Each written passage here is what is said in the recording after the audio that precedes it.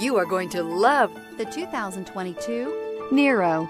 The Kia Niro provides functionality and fuel economy you would expect from a hybrid crossover. The roomy cabin and elevated seating let you know you're in a crossover vehicle. However, the fantastic miles per gallon rating reminds you that you're still in a hybrid. This vehicle has less than 100 miles. Here are some of this vehicle's great options.